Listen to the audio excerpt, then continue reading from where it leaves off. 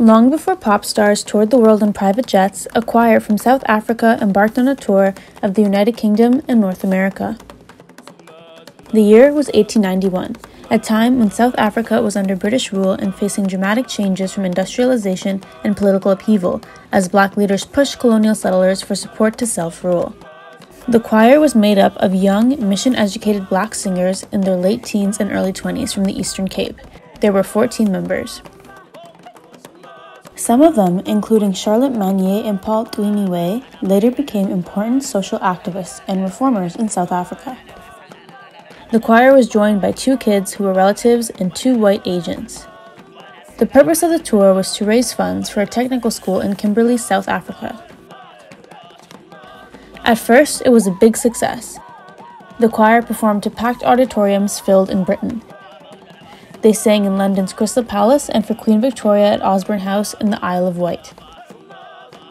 To gain support for their fundraising efforts, the choir had the tough job of creating a show that presented an Africa that was at once modern and unmistakably local, as one researcher put it.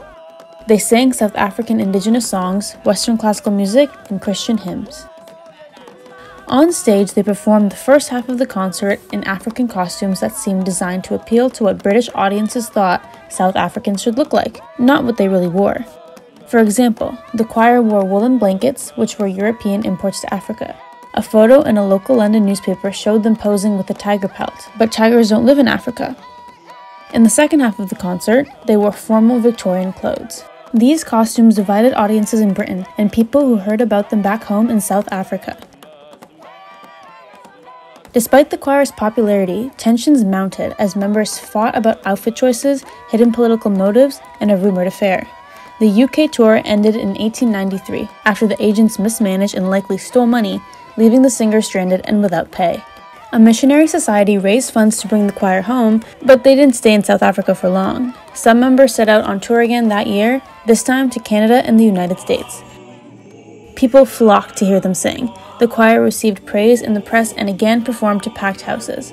This tour didn't end well either, but some members stayed in the US to study at university, including Charlotte Manye, who was the first South African woman to earn a doctorate in arts and humanities.